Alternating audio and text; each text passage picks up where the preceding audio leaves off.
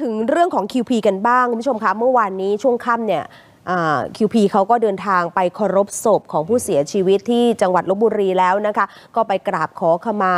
ญาติของผู้เสียชีวิต แล้วก็เขาบอกว่าเดี๋ยวเขาเนี่ยจะเยียวยา เบื้องต้นมีการมอบเงินช่วยเหลือไปแล้วนะคะ30,000 บาท ขณะเดียวกันผู้ชมคะวันนี้ก็จะมีพิธีชาปนกิจศพผู้เสียชีวิตด้วยค่ะ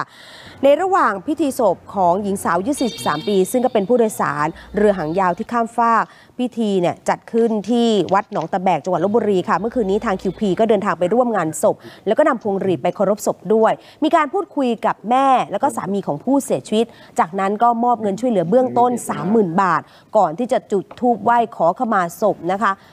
QP เนี่ยก้มกราบครอบครัวของผู้เสียชีวิต แล้วก็กล่าวคำขอโทษ บอกว่ามันเป็นอุบัติอุบัติเหตุจริง ๆ ผมไม่ได้เจตนา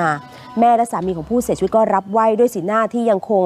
ต้องเข้าใจเขาสูญเสียเขายังทำใจรับเหตุการณ์ที่เกิดขึ้นยังไม่ได้นะคะ ก็ฟังเสียงกันหน่อย แม่คนหนึ่งที่สูญเสียลูกถ้าฉันตายแทนลูกฉันเองก็ยอมฉันเกิดฟื้นมา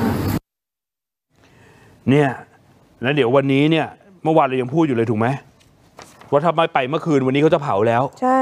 ก็ไปเมื่อคืน เดี๋ยววันนี้เขามีพิธีเผา ก็แยกกันตามภูมิลำเนาปริชัดนี่ก็คือที่ลบบุรี ส่วนลุงประยูนก็คือที่สมุทรสาคร ซึ่งในส่วนของลุงประยูนเนี่ยจริงๆคิวพีกับพ่อเขาไปมาตั้งแต่ 19 สิงหาคมที่ผ่านมานะครับเรื่องทางคดีตอนนี้พนักงานสอบสวนยังไม่ได้แจ้งข้อหาเพิ่มเติมกับทาง QP ก็ยังเป็น 2 ข้อหาเดิมที่ขี่เจสกีไม่มีใบในท้ายเรือกับประมาททำให้ผู้อื่นเสียชีวิต ตอนนี้อยู่ระหว่างรวบรวมพยานหลักฐานตรวจสอบลายนิ้วมือตรวจสอบที่เกิดเหตุตรวจสอบที่เรือ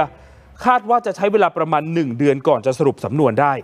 ส่งให้อายการพิจารณาสั่งฟ้องต่อไปเอ่อทีนี้คุณผู้ชมคะไปกันที่ภูเก็ตกันหน่อยหลังจากที่เกิดเหตุการณ์นี้เนี่ยก็ทำให้หลายท้องที่มีการกวดขันมากยิ่งขึ้นค่ะอย่างที่ภูเก็ตเนี่ยเขาไปจับผู้ที่ไม่มีใบอนุญาตขับขี่เจ็ตสกีค่ะตำรวจน้ำไปเจอนายวีรชัยเนี่ยกำลังใช้เรือเจ็ตสกี ไม่มีทะเบียนอยู่ที่บริเวณท่าเทียบเรืออำเภอเมืองภูเก็ต ซึ่งตอนที่นายวีรชัยเห็นตำรวจเนี่ยเขาตกใจด้วยนะ เก็บอาการไม่อยู่เลยโอ้ท่าทางพิรุษออกเลย จนเจ้าหน้าที่เขาขอตรวจสอบเอกสารใบอนุญาตการใช้เรือ